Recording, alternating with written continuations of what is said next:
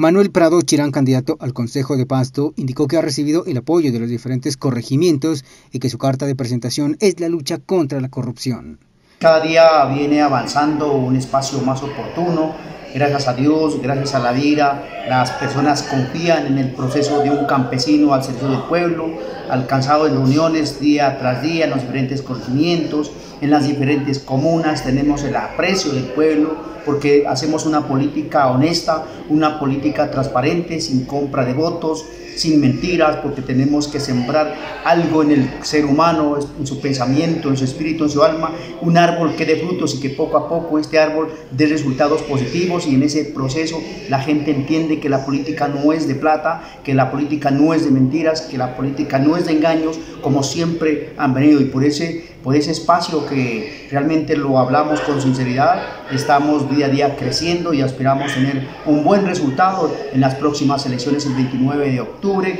que el pueblo marque el logo del maíz y el número del Consejo de Paz. El candidato manifestó que es importante conocer que los concejales son los encargados de presentar propuestas a la administración municipal, pero que siempre el objetivo será trabajar por los más vulnerables. Recordarle al pueblo que los concejales no hacemos.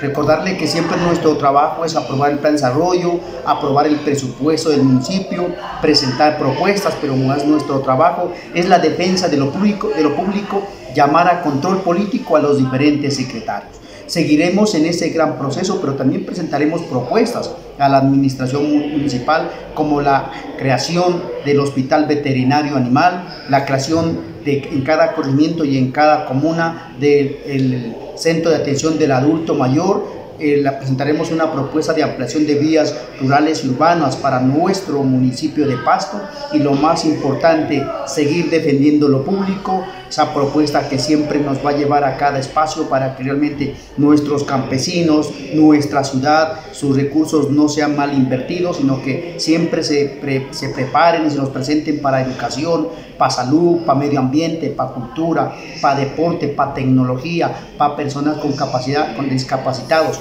Para todos ellos tiene que haber un espacio y eso tiene que quedar inmerso en el plan de desarrollo de nuestro municipio. Finalmente, el aspirante al Consejo Municipal precisó que se espera respuesta por parte de la dirigencia nacional de maíz y así dar el respaldo a quien más le convenga en la alcaldía del municipio de Pasto. Hay diferentes candidatos a la alcaldía de Pasto. En este momento el movimiento alternativo indígena y social maíz está esperando un resultado a nivel nacional, pero miro con buenos ojos a un buen candidato, a Nicolás Toro Muñoz, que es una persona que es coherente, conoce el municipio de Pasto. Sin embargo, nosotros desde el movimiento alternativo estamos esperando el espacio oportuno para poder llegar a, ojalá, ese espacio de, esa candidatura. También hay otras personas. Ese es el espacio, pues en este momento simplemente una, una buena visión sería Nicolás Toro Muñoz.